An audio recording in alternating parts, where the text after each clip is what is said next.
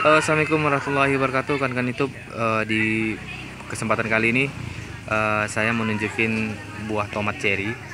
Ini saya lagi jalan-jalan tempat saudara. Kan bisa lihat ini eh, saya bilang bagus ya kelihatan cantik sekali memang. Ini salah satu tomat yang kadang-kadang sebenarnya untuk hiasan.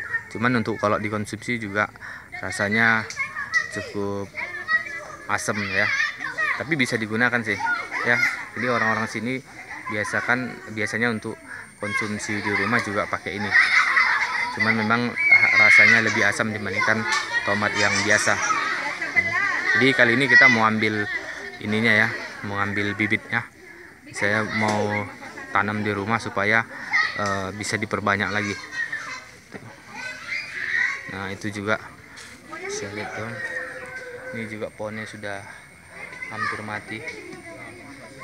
Ini juga ada.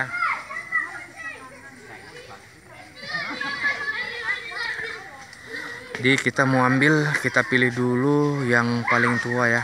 Yang paling tua berarti yang paling merah. Untuk kita bibitkan nanti. Ini kita ambil ini ada yang sudah agak busuk ini aja satu. Kita ambil lagi nih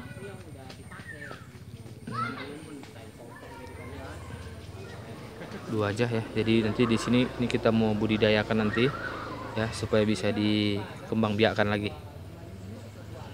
Di kawan-kawan kalau misalnya untuk di rumah ditanam di polybag seperti ini pun ya bagus juga di, di atau juga di pot ya.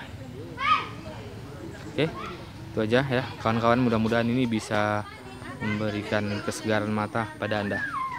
Oke assalamualaikum warahmatullahi wabarakatuh